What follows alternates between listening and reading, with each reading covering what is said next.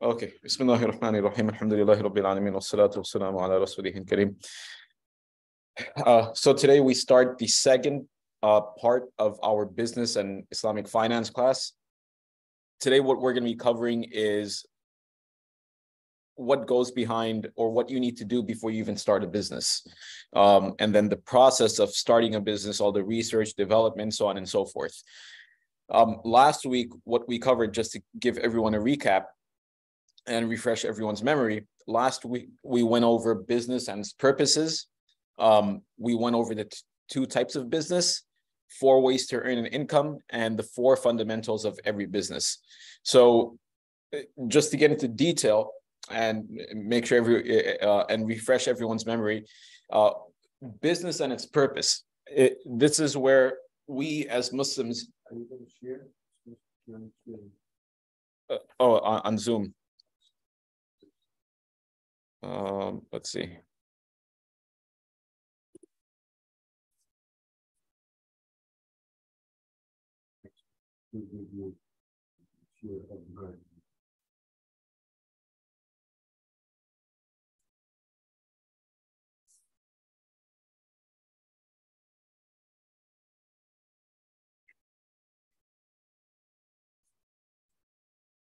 This is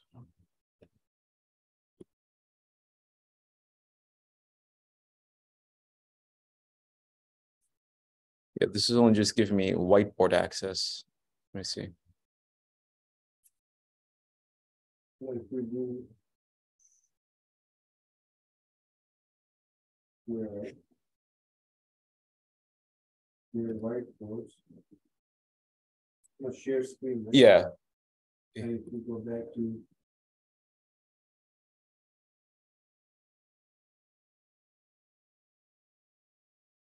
If you're a move share whiteboard, then it's just share screen beside it.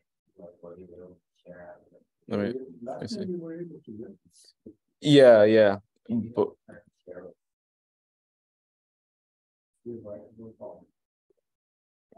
uh, let's see over there.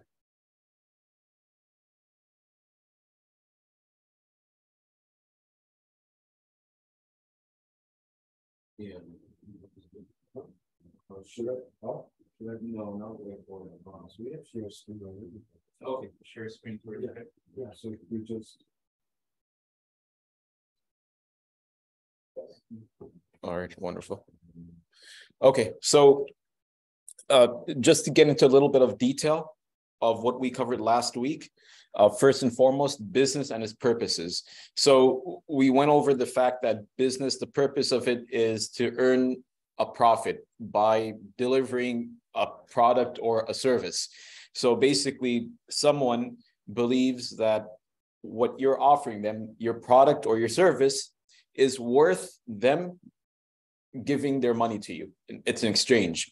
Uh, and its purpose, yes, profit is one of the purposes, but for Muslims, our ultimate purpose is that it has to be in line with our belief as Muslims that this is for Allah subhanahu wa ta'ala, that on the day of judgment, this will be something that we will be rewarded for.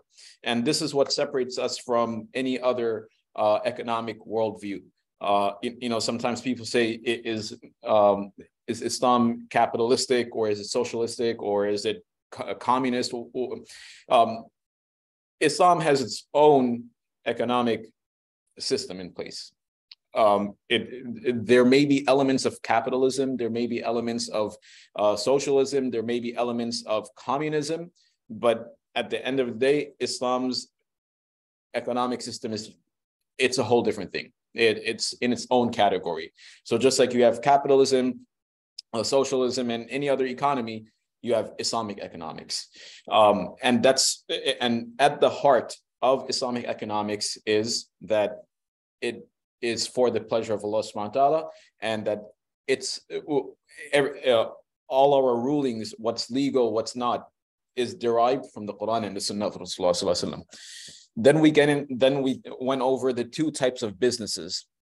We said that there are actually there's three types. Uh, we said there's commodity-based businesses where you trade uh, or, or you sell an actual product Um, and there's a service-based business. And then there are businesses that are a combination of both. And then we went over four, four ways to earn an income. You can be an employee where you work for someone and you exchange your time for money. You could be self-employed where you own a job, you don't work for anyone, you work for yourself, but you're still exchanging time for money. And then you're a business owner where you have systems and people working for you. So at that point, you're no lo- you're no longer trading uh, uh, money for I mean for time for money. Rather, the money is being produced and the business is continuously running even in your absence. And then there's an investor. Investor is where they make their money work for them. And uh, one thing we highlighted last week was that a person can be in all four categories at the same time. A person can have a full time job, they can have a part time business, they can also be a business owner, um, and they can also have investments in place. Uh, I knew a family. Uh, both husband and wife, they were doctors, um, but then they also had a business on the side uh, uh, they bought a franchise, uh, which was uh, an education franchise. So um, what they would do is uh, uh, they would teach after school mathematics and whatnot. Um, so they had their full time job as physicians or doctors, but then they they they ran a business, and then whatever money they had, they invested it. So they were in three different categories. So it, when we look at the four ways to earn an income, it's not, hey, I'm just an employee or I have a job and that's it. You can be in multiple uh, uh, income categories at any given time. And then we went over the four fundamentals of every business. Four fundamentals are um, first and foremost, let's look over this over here.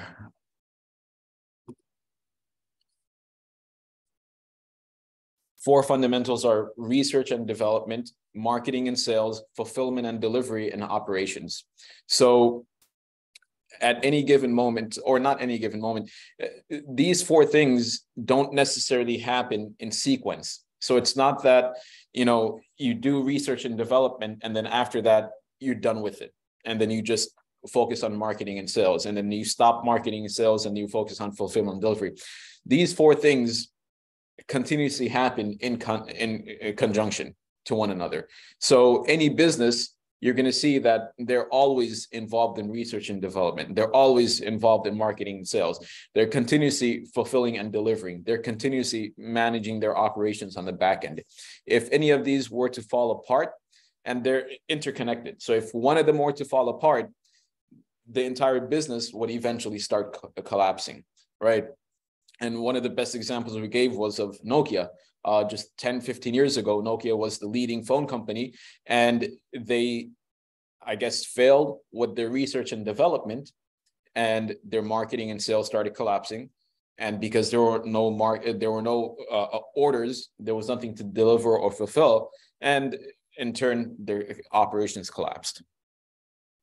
So today, what we get into is now that we have a good idea or a clear idea of what the purpose of business is, what the foundation and uh, uh, what the foundation of every single business is, and the three types of business. Maybe now a person is thinking, I want to get into business. I want to start a business. Where do I start? What do I do?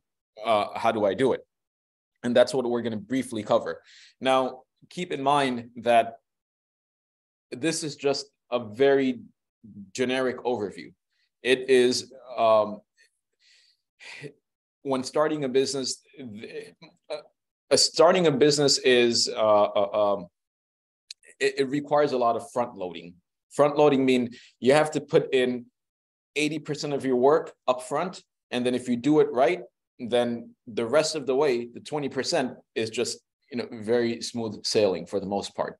So when starting a business, there is a lot of time money and energy that is required. Um, a lot of research is required. But so what we're covering here today is not specific to any particular business. Uh, it's not going to go into all the details and the nuances. It's just going to give you a place to start. And then it's up to you to then take it from there. This is more of a roadmap. Uh, before we even get into, you know, where to start or how to start with a business, uh, I want to kind of go over who you need to be in order to succeed as a business owner. Because not everyone um, and this is you know just to be completely frank not everyone is designed to be a business owner. Now it's not to say that just because you don't have business experience or business knowledge that you cannot become a successful business owner. You definitely can. You need to build those characteristics so we're going to go over those characteristics. So even before we discuss the what we need to know the who. Because you can have a very nice system in place but if you don't have if you do not become the type of person who can handle a business the stress the pressure then that system is going to fail right? Say for example um, someone comes to you and says hey or someone comes uh, uh, comes yeah someone comes to you and says hey i'm going to give you a multi-million franchise you have to do nothing but manage the franchise. You just have to manage the managers. So you have the what, you have the how, everything is in place. But let's say you are not the right person, that franchise is going to fail. Right. So even before we can talk about the what and the how, we need to talk about the who, because everything depends on you on whether or not your business is going to be successful right? So businesses don't fail because the business is bad. Sometimes that is the case right?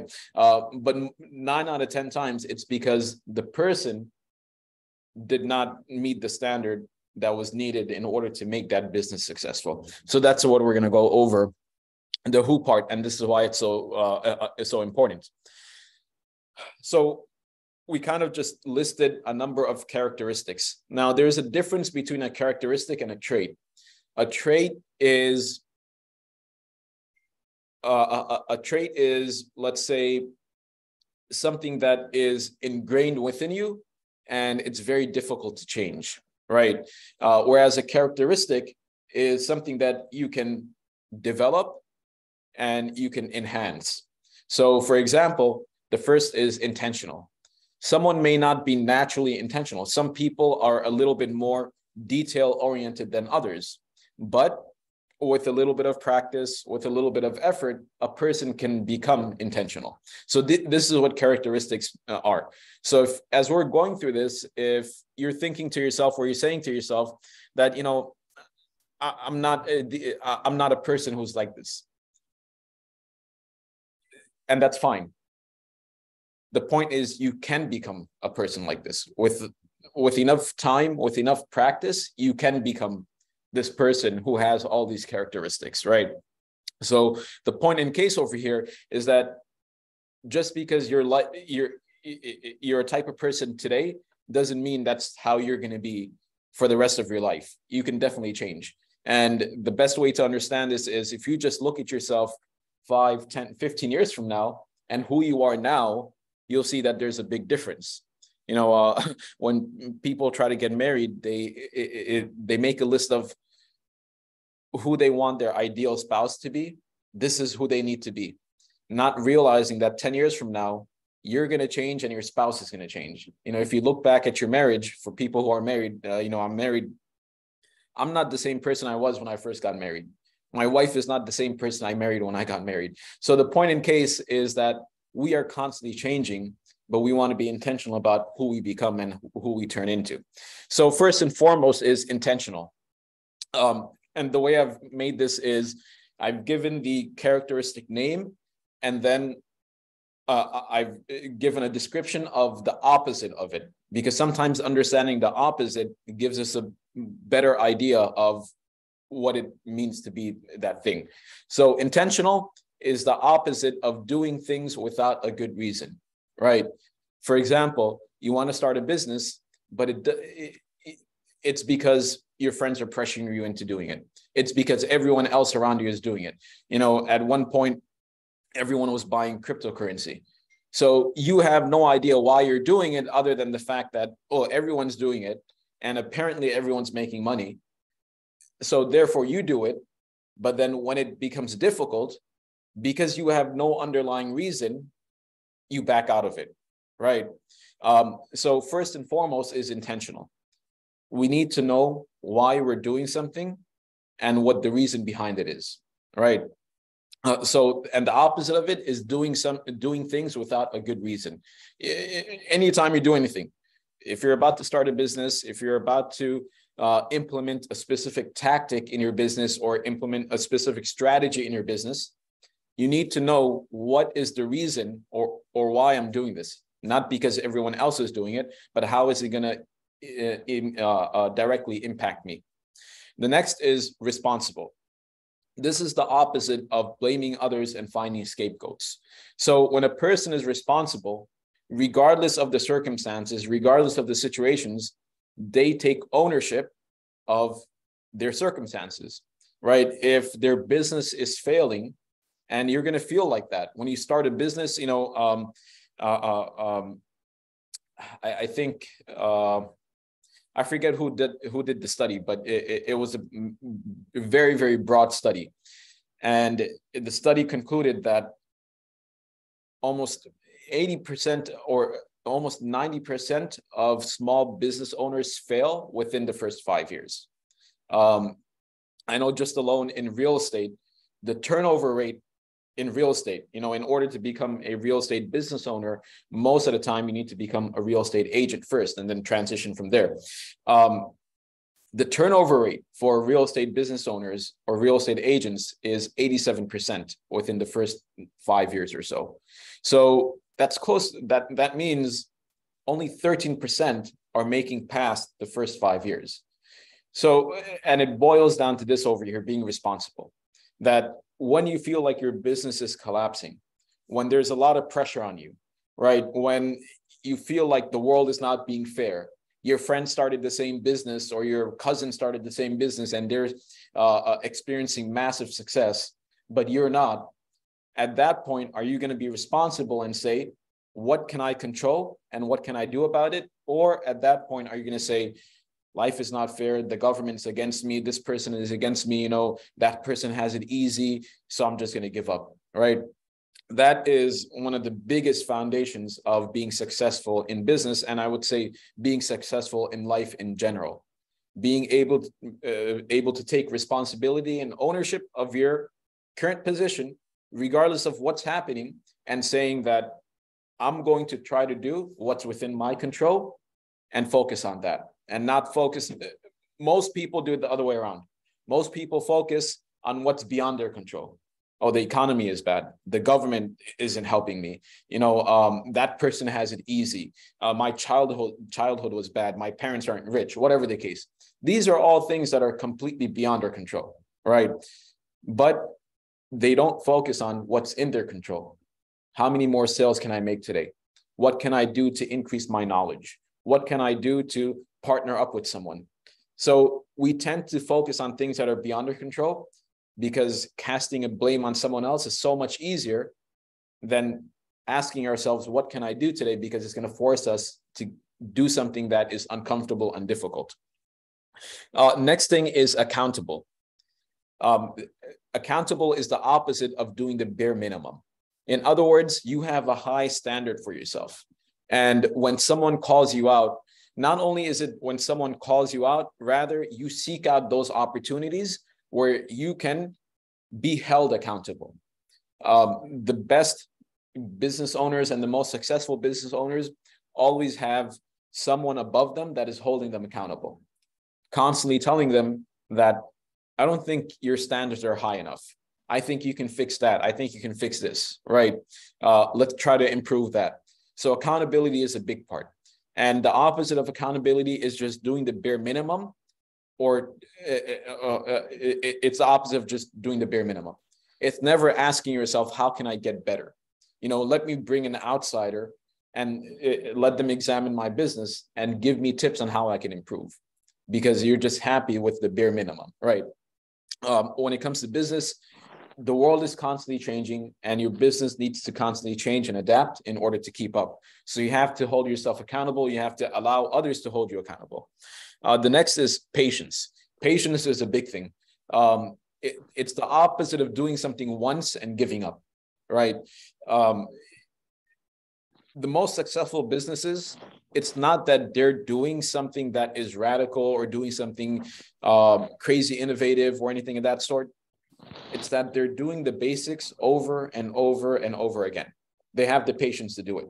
Uh, most business owners, they'll start very excited, but after the first one or two weeks, they'll give up because it gets boring. And that's where patience comes in. Patience requires you to do the, uh, after all the motivation and excitement and happiness goes away, you just continue doing the same thing over and over and over again, right? Uh, take, for example, Apple. Apple is innovating, but behind the scenes, they're doing the same basic things over and over again. They're doing their research and development, whether or not it's boring. They keep, keep on doing it. They're doing their marketing, whether or not it's boring. They're doing their fulfill, fulfillment, right? They're not basically, they're not jumping from one thing to another. They're not saying, oh, you know, um, uh, uh, uh, we made cell phones. Now let's get into something else. They they stick to what their original plan is and they continue through it. So patience, and then a part of patience is also being consistent. Um, next, we move on to being humble. This is the opposite of thinking you know everything and you are always right. Last week, when we went over the foundations of business, it's pretty straightforward, pretty easy. And quite honestly, you know, starting a business doesn't require you to have a PhD. You can start a successful business. Um, it, it, um, you guys know the uh, yogurt company Chobani, right? Do you guys know who owns Chobani? He is a uh, Turkish immigrant, uh, actually Turkish refugee. Uh, his name is Hamdi something, um, but he came to this country with as a refugee, uh, no money. I don't know what his background in education is, but he, he came with a lot of disadvantages, and now he owns a I don't know multi-million billion dollar you know company. But the point is, starting in starting a successful business is not difficult. But then sometimes people get into it who don't come from a business background. They may be very, very well qualified in a certain field. They may have very high credentials and they start a business and they say, well, I have very high credentials. I, you know, I have a PhD or I'm an MBA, whatever the case. How difficult can this be? I don't need to get advice or help from anyone. And that's where they start collapsing because having theoretical knowledge is not the same thing as having practical experience. So being humble is in business, being able to go to someone who has the success and you go to them and you say, Can you teach me? Even though that person's credentials that person may not be a PhD or whatever the case, right? It's having that humility of going to someone and asking for help, right? So that's uh, uh, so humble is the opposite of thinking you know everything and you are always right. Um, next, and a big part of this is when you get criticism, instead of just dismissing that criticism, you actually look into it and you say, is it true or not? is there some truth to this criticism? And if so, then you just got free advice. Uh, next is grateful. Opposite of thinking everyone has it better than you.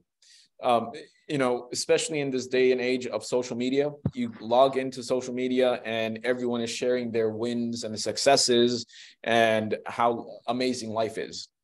Um, maybe 1% of the people are going to share uh, you know some difficulty that they're going through in life they're maybe they're suffering uh, maybe they're fighting cancer or maybe you know um, one of their loved ones uh, you know uh, uh, passed away but other than that you open up social media most people and the stuff that is getting the most amount of attention are people who are showing off all their material wealth they're showing off how rich they are or how successful they are and you look at that and you begin to say to yourself, you know, that person has it so much easier than I do.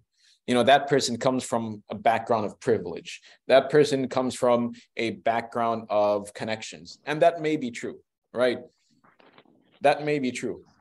But just because that's true doesn't make life any different for you. You get what I mean?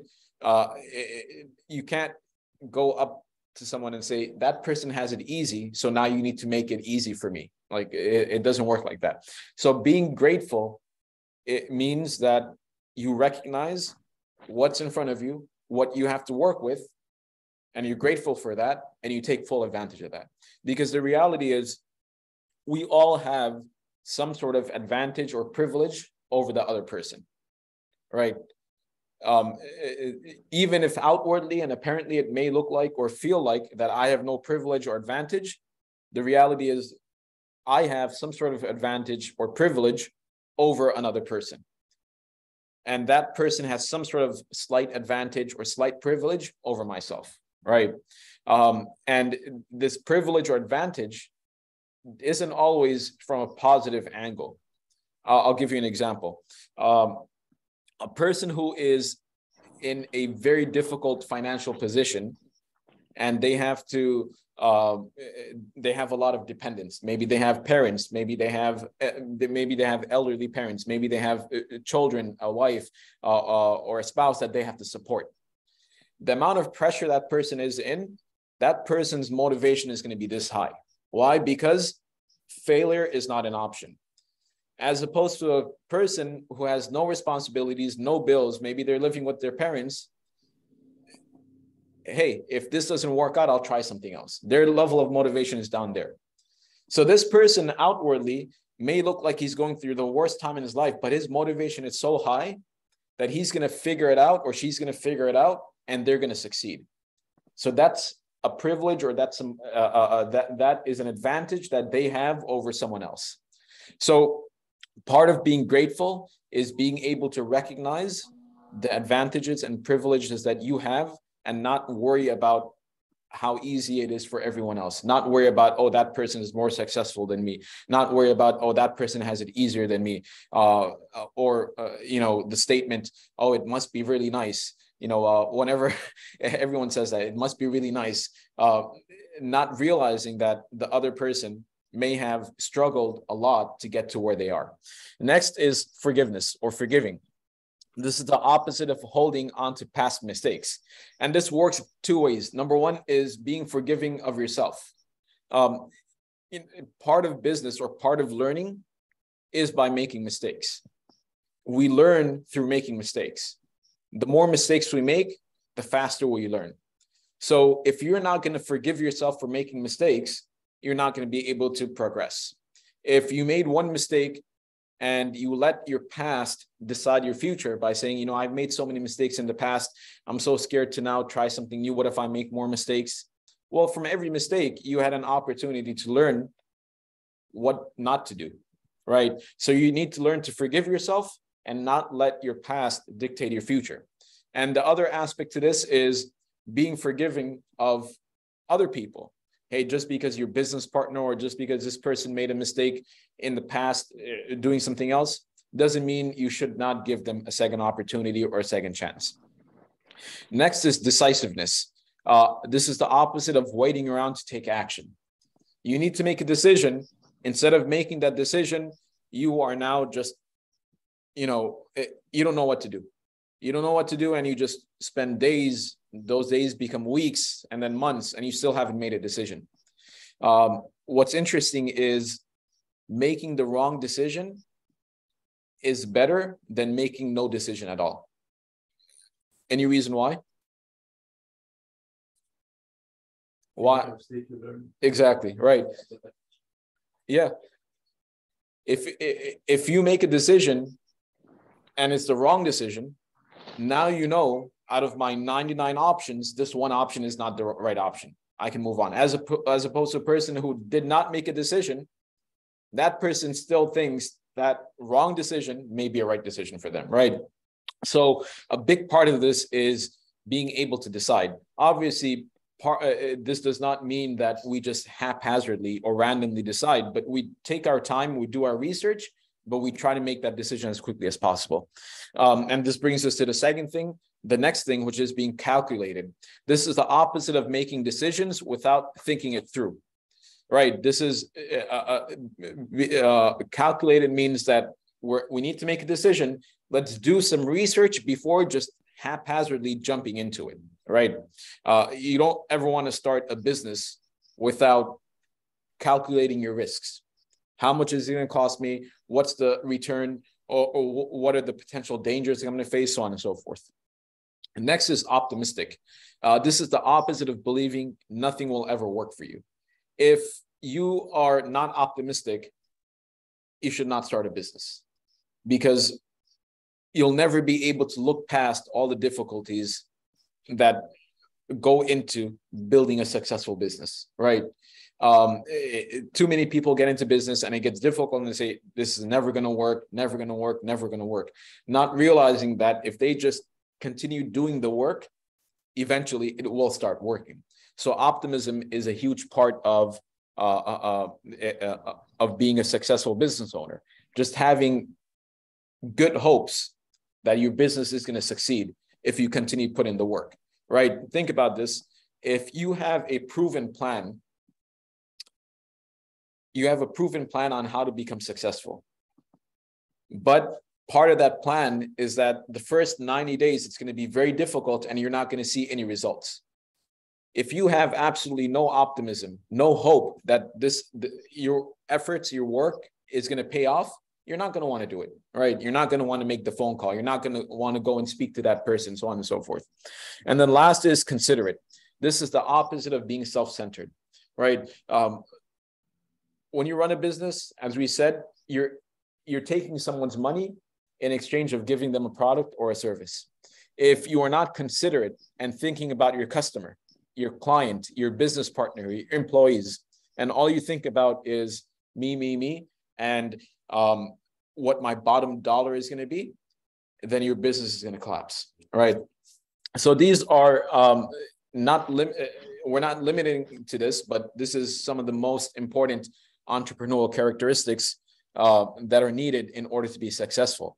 And what's very interesting is if you look at this, these are actually characteristics and descriptions of a Muslim, right?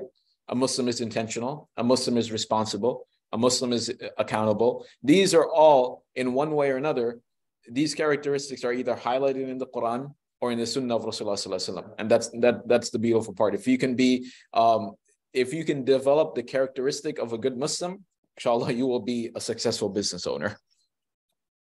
All right, now we move on. Now we get into business planning models and tools. You want to start a business, where do you start from? Or how do you start? Um, yeah, does anyone have questions before we move on?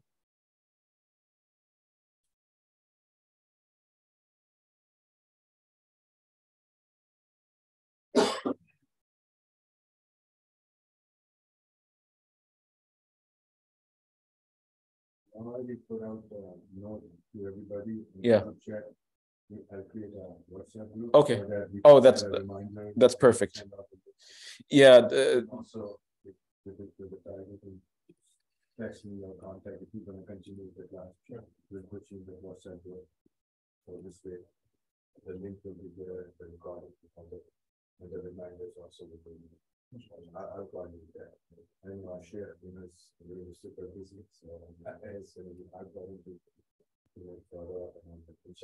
that. thank you. Um, okay, so no one has any questions?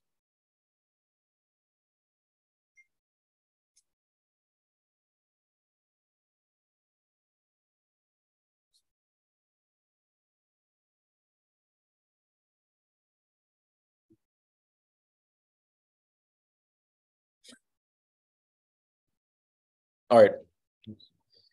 So now we get into business models and tools.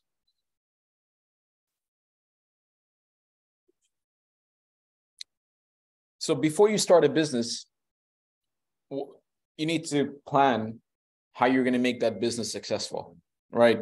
This is the research and development stage of your business. Um, no one ever, or no successful business owner, just says that I have an idea, let's start doing it, right? Uh, They think think it through. They plan it. They calculate the risks involved. They determine the tactics and strategies needed. So the first and foremost place that we start from when starting a business is research and development. And part of research and development is creating a business plan of what you need to do moving forward. Um, so the first thing that I like to do uh, is what we call a brain dump. A brain dump is writing down everything that's on your mind. You may have this elaborate business idea, but until you write it down on paper, it's not going to become crystal clear to you, right? In your mind, it may seem like it's making sense. In your mind, it may seem like all the dots are connected, but until and unless you write it down, you're not going to crystallize it. Once you start writing it down, then you're going to start seeing the missing links. Oh, this doesn't connect to that. That doesn't connect to that. So, first and foremost, write down everything that's on your mind related to this business right? I want to start this type of business. This is what it's going to do. These are all the different services, or these are all the different products, so on and so forth. You start by writing everything down. A part of this is also just getting in the habit of journaling. So journaling, which simply means writing down your experiences, your uh, what you've learned, is a very effective tool for gaining clarity and insight, right? Because the way our mind, our brains are programmed is that we just fill in the missing gaps. We make conclusions and assumptions.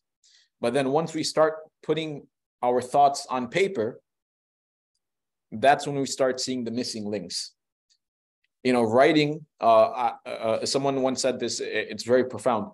Writing is the action of thinking, right? So, when thinking, it's in our mind, but the physical action of thinking is actually writing down our thoughts. So, uh, one good habit to have is you have a journal dedicated to your particular business.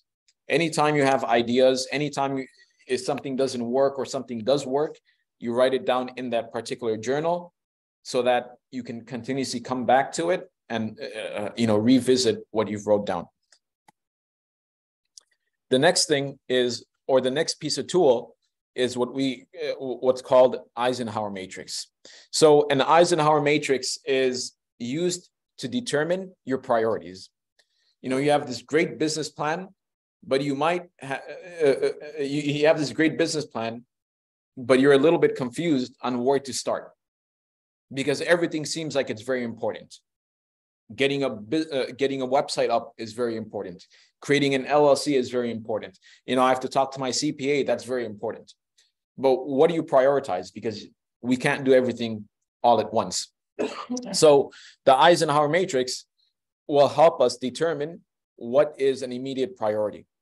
And if you look at the uh, uh, uh, graph over here, basically there are four quadrants.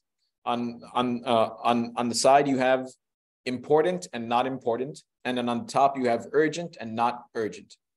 So whatever falls under important and urgent, those are things that you need to start doing immediately, right? They could be things like uh, uh, uh, with clear deadlines, or they could be things that you need to do right now in order to do the next thing, right? Um, then you have urgent, I mean, sorry, then you have important but not urgent. So those are things that they're important, but you can't do them until you do something else, right? So, for example, uh, you meet up with your CPA, and your CPA says, I can register your LLC, but I need the LLC name. So that's something that's urgent. You need to come up with an LLC name. And what's important but not urgent is registering the LLC. Why? Because without the LLC name, you can't register the LLC. So in your Eisenhower matrix, you write down what's important and urgent is coming up with an LLC name, and then not urgent but important nevertheless is creating an LLC. So we schedule that. So what's important and urgent, we try to do it immediately. What's important but not urgent, we schedule it. We say we're going to do it next week or three days from now, whatever the case.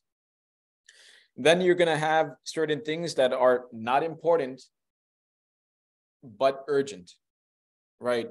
Uh, maybe eh, eh, uh, what's a good idea? Maybe uh, uploading blog blog posts, scheduling, responding to some emails, right? So these are things that are urgent but not important. Are these things that we can hand off or delegate to someone else, right? Um, so uh, that's not important and urgent. And then la the last category is not important and not urgent. Sometimes things come up that we think we need to do, but then when we put this together, we realize, hey, it's not really important and it's not urgent. So just get it, get rid of it, right? Uh, maybe it's bugging you. I, I really need to check my Facebook, and you and you you put this together and you're like, wait, checking Facebook is not related or important to my business, and it's not urgent. So let's just not worry about it for now, right? then from there we do uh, uh, uh, uh, um, we do what's called a SWOT analysis. So a SWOT analysis stands for SWOT stands for strengths, weaknesses, opportunities, and threats. And the purpose of a SWOT analysis is to you is used for finding new opportunities, right? It's used for finding new opportunities. You want to you can do SWOT analysis for yourself you can do SWOT analysis for a business that you want to get into. For example, you want to start publishing newspapers, right? Let's just say you come up with this idea one, or someone tells you, you know, you should really look into. Um, no, I'll give you a better example. Uh, uh, say, for example, where we go back in time two years ago, COVID just started. One of your friends comes comes up to you and says, "Hey, I have this brilliant plan. We're going to buy a uh, medical office and we're going to do COVID tests, right? And you say, wow, that's a brilliant plan. Everyone has COVID or everyone needs COVID tests. So we're going to make a lot of money. So now you do a SWOT analysis for that business. What are the strengths for that? The COVID testing business. Strength is that it's in high demand now. Strength is that people are willing to pay for it. Uh, uh, uh, there's urgency required, right? Um, so what are the opportunities? Opportunities from is that we can, uh, you know, uh, uh, opportunity is that we're the only COVID testing center in our area. Um, but what are the weaknesses? Weaknesses may be that two years from now, COVID may not be critical anymore. So our demand is going to go down.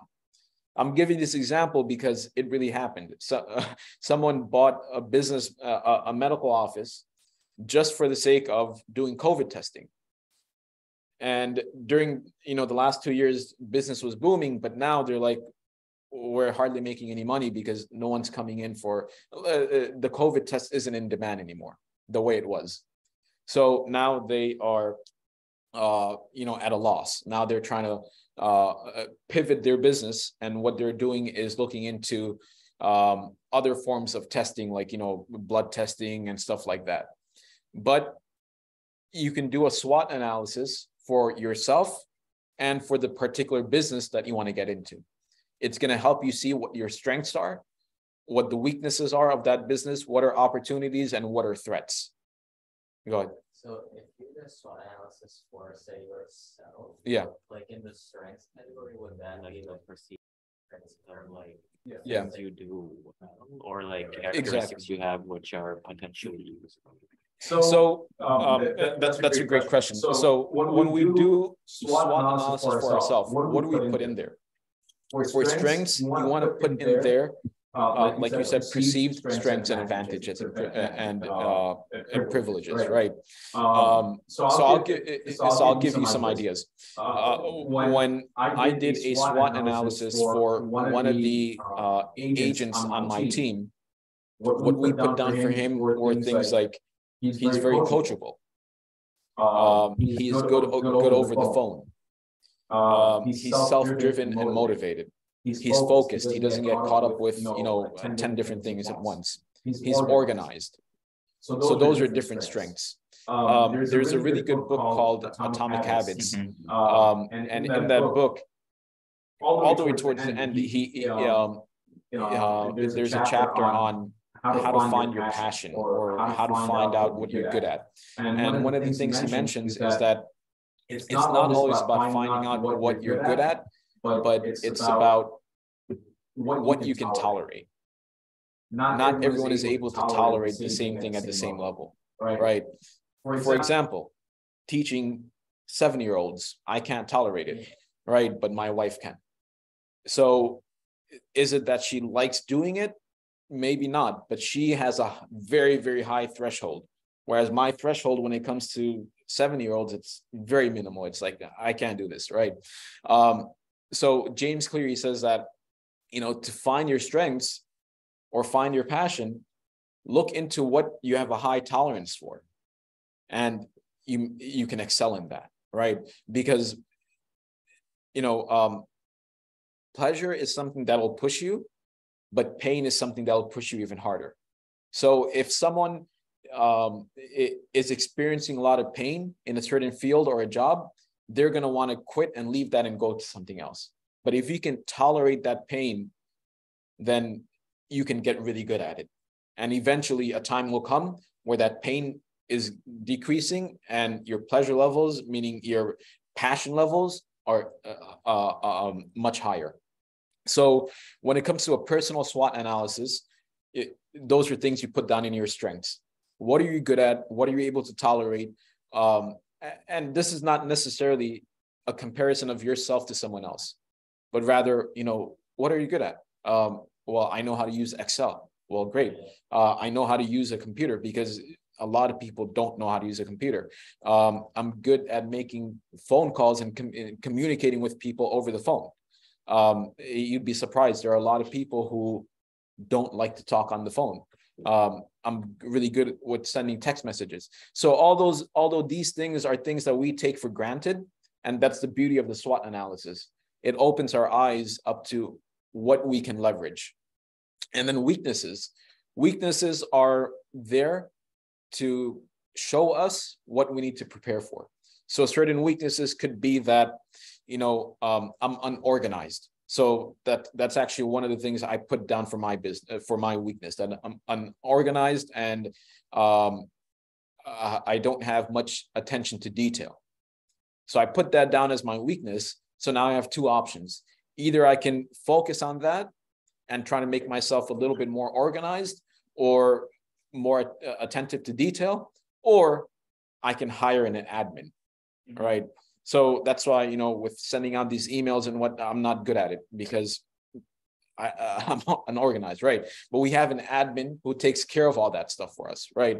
So the part of weaknesses is to identify what you're lacking because you're always going to have weaknesses, and then either find someone who's really good at that, or you need to find a system that can take care of it for you. Or if there's no other option, you need to make sure that gets done, right?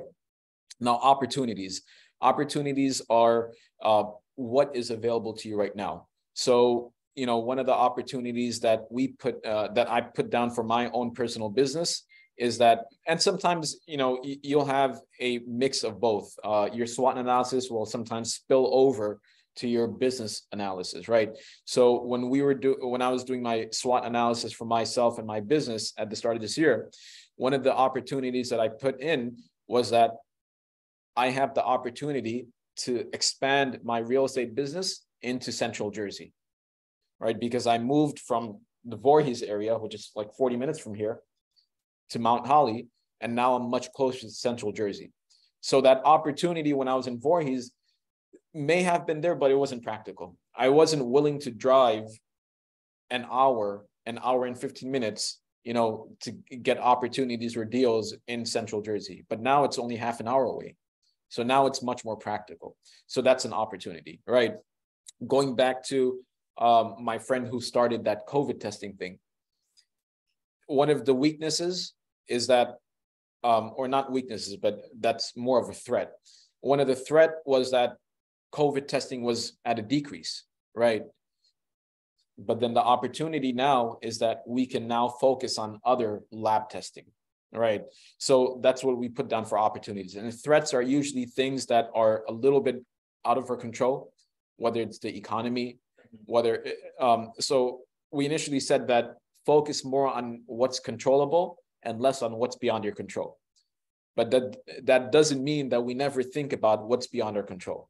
You know, if there is a war going on somewhere, if there is a uh, uh, if there's a recession, inflation, these are all things that are really beyond our control.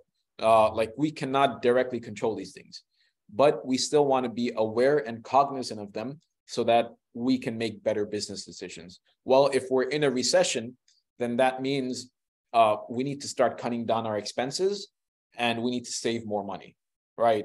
Uh, it means that instead of now funding or dumping hundreds of thousands of dollars into a new research project, let's hold off on that. Let's keep that money in our reserves. And then once the economy gets better then we can focus on that right? So the swot analysis is there to really uncover uh, and give you uh, uh, clear cut ideas of how to take your business to the next level or what to do next right? Any questions on this? Yeah so like if you do a SWOT analysis for yourself as a person yeah like for the opportunities and threats opportunities I guess ways that you could or like things which could be beneficial to you. So what would be like threats? What, what would be like what? Threats, like if you did a SWOT analysis for yourself, was it? So threat uh, threats would be so weaknesses would be uh, uh, so another way to look at this is strengths and weaknesses are what's in your control. Yeah. Opportunities or, and threats are what's a little bit out of your control, right? Um, so threats in this case would be like we said, uh, a down market, a recession, um, inflation. Um, another um, threat could be that you know um, or, or, uh, another threat it could be that you just had a new child. So it's not a threat necessarily like in a negative sense. Yeah. rather it's uh, it's a disadvantage. Mhm. like what are you going to do? Give the new baby away right? Uh, it's a it's a threat because now you have to there's more time going in there right? So threats are kind of highlighting disadvantages that or perceived disadvantages that are beyond your control. And the reason i say perceived is because even threats you can turn into opportunities right so that's that um next we move into all right so the last few things, the brain dump, Eisenhower matrix, and the SWOT analysis was there to kind of just gather and organize our in our all the information that we have. Um, so now how do we take that information and how do we actually put it into action?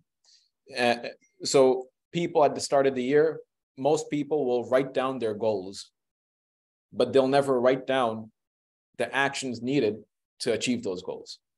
So they'll write down, I need to lose 50 pounds, but they'll never write down, what do I need to do to lose the 50 pounds? Right. So likewise, you do all this, you may you may have a really good business idea. You know your strengths and weaknesses, you know what you need to prioritize on, but you stop there and you don't write down, okay, what's my next immediate action step? So this is what we're going to focus on now. So we call this the 10-5-1. So 10-5-1 is you start with your 10 year vision, you bring it down to your five year milestones, and then you set your one year targets. What does all this mean? Uh, or what's the purpose of this? The purpose of this is to help you align your short term goals with your long term goals. Or a better way to phrase it is this is to help you align your short term actions with your long term goals, right? So I'm going to rephrase this a little bit.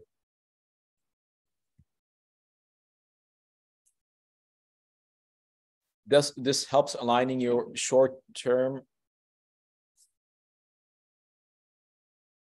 actions with your long-term goals, right? So how do we do this? Um,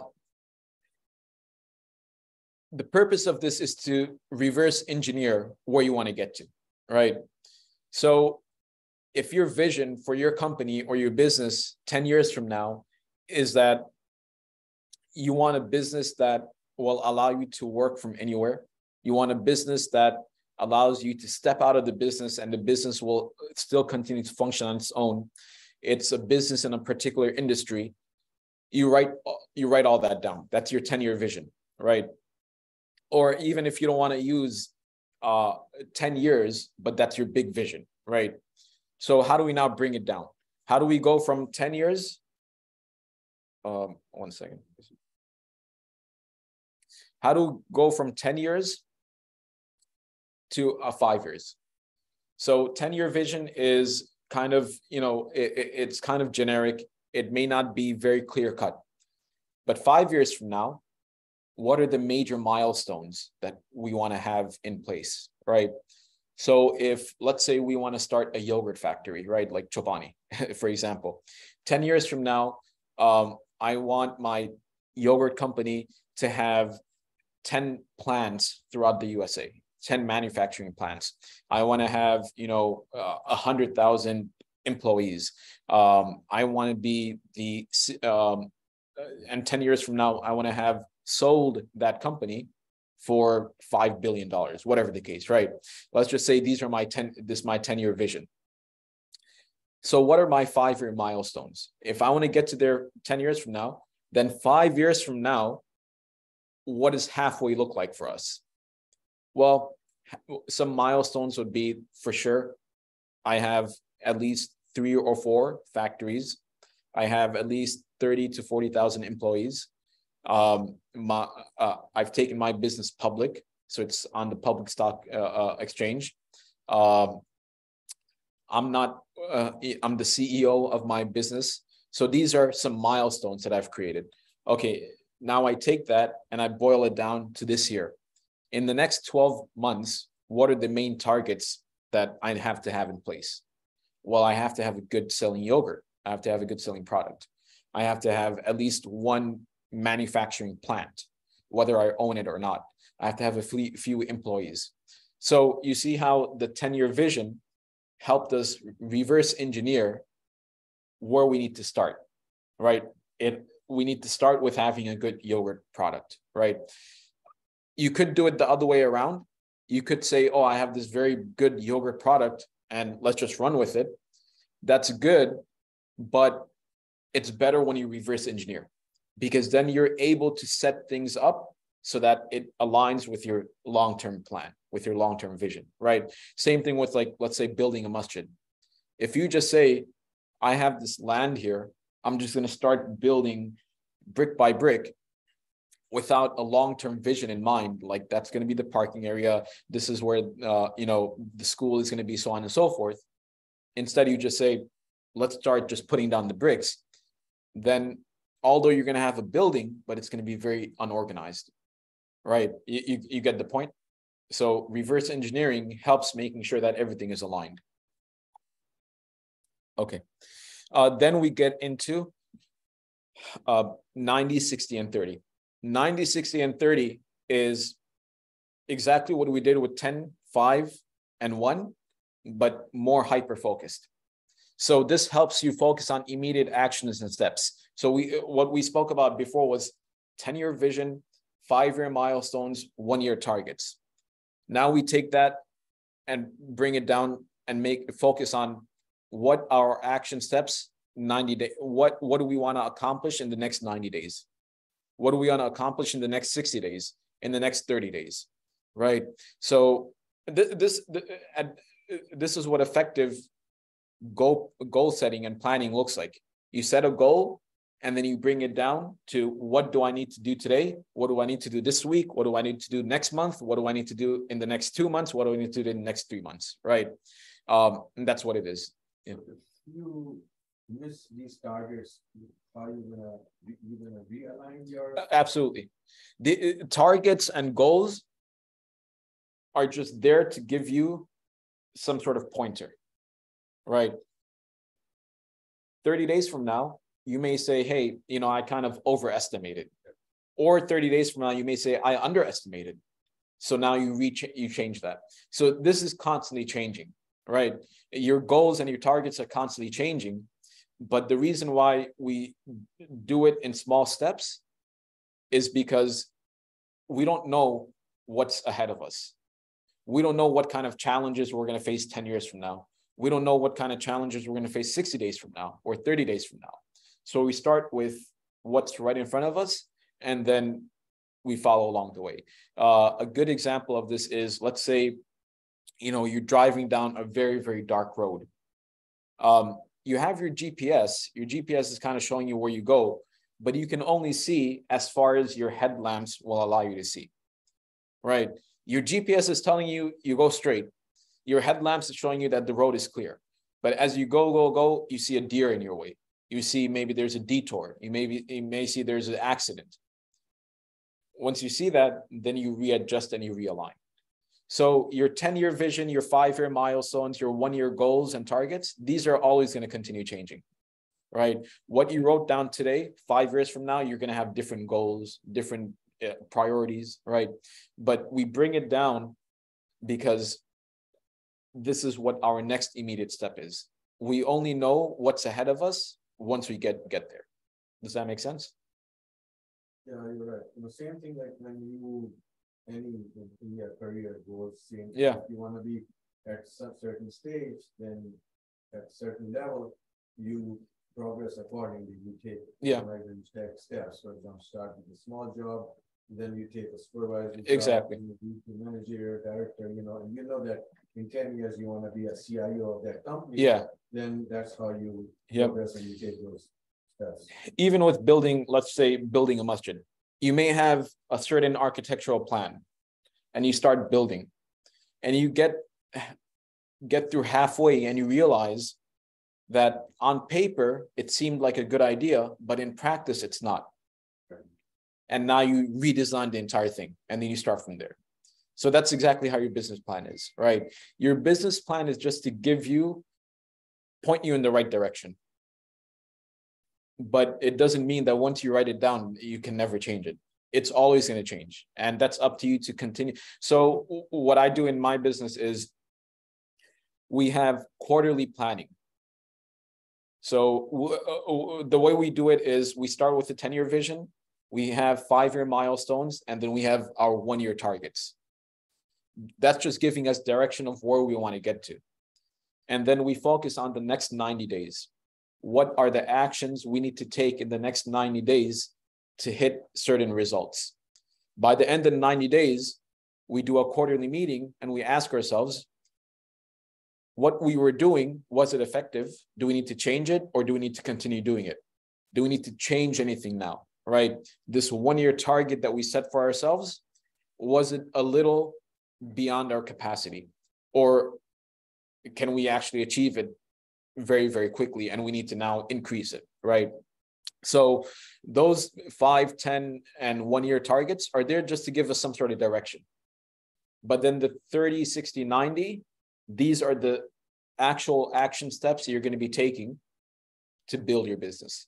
So going back to building the masjid you may say uh, i want to complete building the masjid in one year and you build out this plan that you know in the in the, in the next 90 days you're going to finish uh, one quarter of building the masjid. And then you boil it down. Six, 30, day, uh, 30 days what are you going to do? You're going to lay down this particular foundation. Uh, how do you do it on a daily basis? Daily basis we're going to start working from eight all the way to five right? That's our constru- construction time. And you start building and you realize after 90 days, when you go back and you reassess your quarterly plan and you plan for the next quarter, you come back and you say, uh, e- either you say it may not be possible to make it within the next 90 days. Why? Because there's, you know, uh, we realized that while we were digging, there is a pipe that needs to be changed. So now that's some sort of problem that we ran into.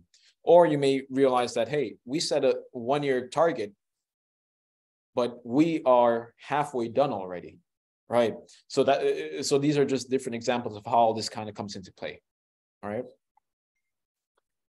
Um okay now we're just kind of elaborating on this process over here. Uh setting goals will help you determine where you want to get to where you want to go but figuring out the process and the action needed will help you figure out the how. Both are important right? So, for example, uh, let's look at this over here. Uh, focus on your body weight. The result goal is that you want to lose 15 pounds. but what's the process that's going to help you get there? The process is how many days can I go without sugar? Right. Uh, your result goal may be to build more muscle. What's the process goal? How many workouts am I getting done weekly? Right. Better marriage and better parent. What's the process for that? How much time, how much quality time am I spending with my family? Uh, growing your business. That's the result goal. What's the process? How many books am I reading? Uh, or uh, how many books am I reading to grow my knowledge on that particular business, right? So you start getting the idea of goals versus processes. You have to have both. You can't start a process if you don't have a target in place.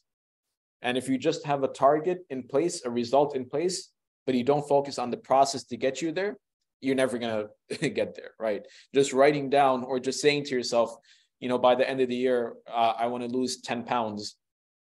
That's not going to help you lose 10 pounds. You need to now think about what do, what do I need to do on a daily basis, on a weekly basis, on a monthly basis, the process to get me that result, right? And the reason why uh, I like to do 90 days instead of one year is 90 days will allow you to test something long enough to see if it works or if it doesn't work. And it brings the deadline shorter.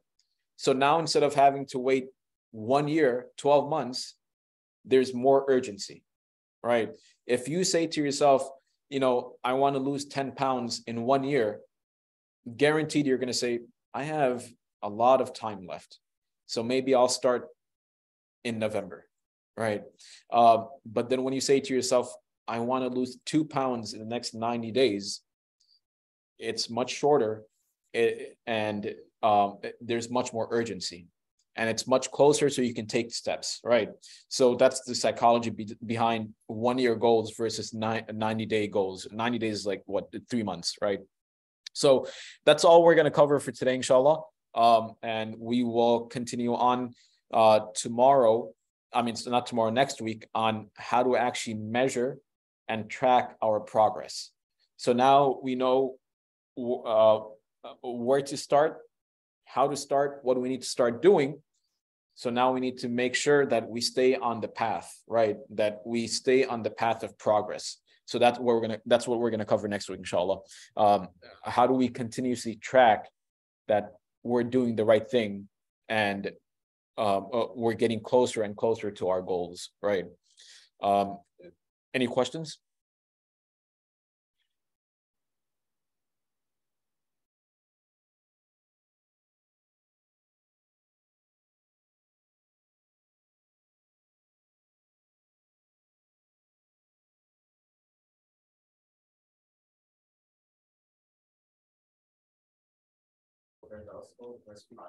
For process goals, is that more like like tangible steps or tangible Yeah. Yeah. actions you can take that like indicate, okay, I'm moving towards this goal.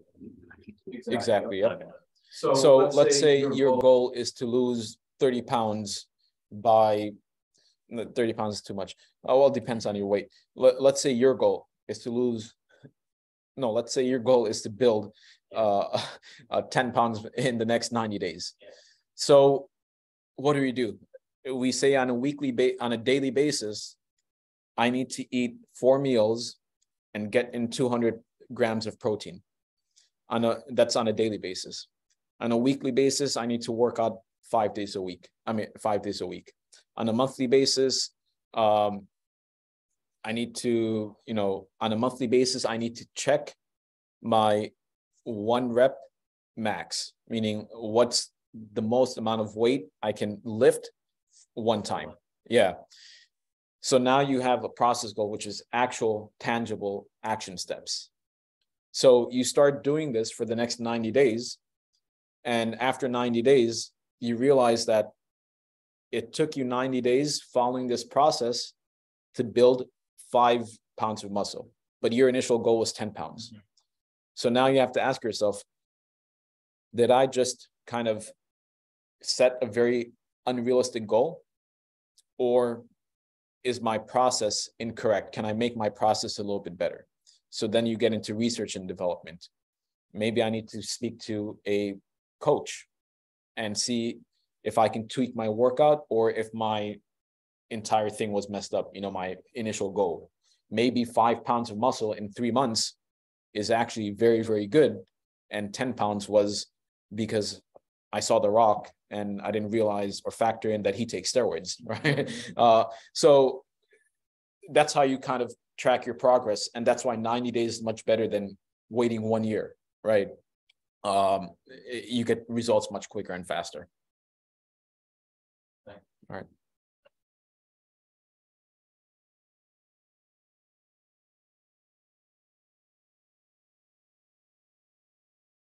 Uh, any other questions?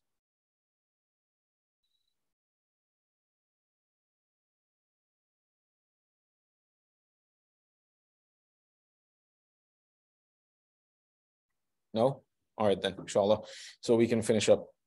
Assalamu alaikum wa rahmatullahi wa barakatuh. Um, uh, Brother Sohail is gonna uh create the WhatsApp group. So if you have any questions in there, you can always ask us in there. Yeah, so brothers, sisters, I have some of the, you know, participants, I have their contact number. So I will make a group uh, chat so that we will post the recording and also any updates. And also as a reminder, we will use the same link. So please use the same link, but inshallah, I will post the link also in the group chat. So, uh, but please send me um, your contact information, your uh, phone number and the name so that I will create a group. This way we will uh, chat and uh, and update anything in, in case if there's a cancellation of class, inshallah, we'll post that also in the same group. This way everyone will be uh, updated. Um, so Jazakallah khair. Inshallah, we'll start on the same time, like nine o'clock, nine to ten. And just, you know, we'll give five minutes, you know, uh, in case if somebody's late, but try to be on time um, so that people can leave on time also because it's Saturday and people have to run errands and do other stuff. Okay, Jazakallah khair for participation.